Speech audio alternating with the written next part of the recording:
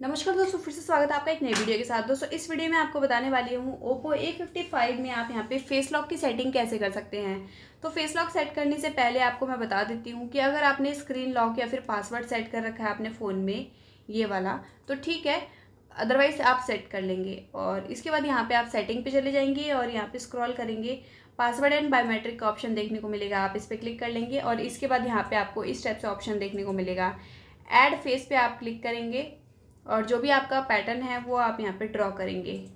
इसके बाद आपको कंटिन्यू पे क्लिक करना है और यहाँ पे आपका फेस इस टाइप से आप ऐड कर लेंगे।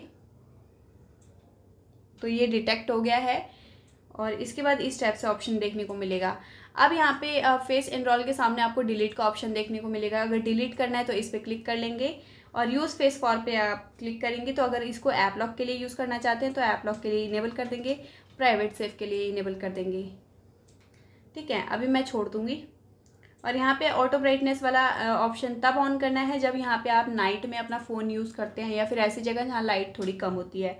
और यहाँ पे ये वाला ऑप्शन इसलिए होता है कि जैसे कि कई लोगों की आइज़ प्रॉपर ओपन नहीं हो पाती है थोड़ी सी प्रॉब्लम होती है उनको तो ये ये वाला ऑप्शन ऑफ़ करके यूज़ कर सकते हैं।